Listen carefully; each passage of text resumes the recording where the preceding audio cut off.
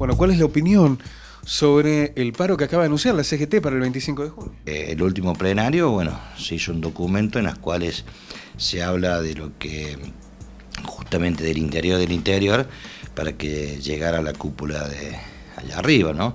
Con respecto a todo lo que está pasando, están pasando, estamos pasando los trabajadores a nivel nacional. La propuesta del gobierno de un 5% adicional a las paritarias parece estar muy lejos de los números que indican incluso los que maneja el Banco Central sobre inflación. No, seguro.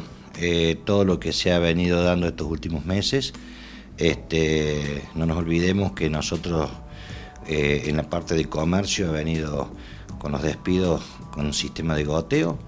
Siempre, este, todas las semanas vienen algunos despidos.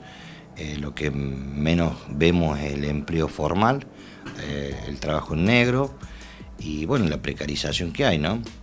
No solamente eso, sino también la preocupación que tenemos también a base de lo que hoy este, estos tarifazos se vienen dando con respecto a la luz, este, la parte inmobiliaria, de, este, los alquileres, eh, el Fondo Monetario, eh, lo que hoy este, se ha pedido, ¿no es cierto?, en forma inmediata con respecto al diálogo que han tenido la CGT a nivel nacional con el gobierno para que dé un, vuelco, por lo menos en la economía, este, que justamente hoy, ya desde el año pasado, que también se viene dando, y bueno, hoy ya llegó un momento que, bueno, eh, yo creo que el diálogo se, ha acabado, ¿no? Nosotros formamos parte de la CGT a nivel nacional, eh, que bueno, nos llevamos, vamos a, seguramente esta semana vamos a tener una, reunión aquí regional y bueno, ahí vamos a, seguramente a dar un documento o algo así.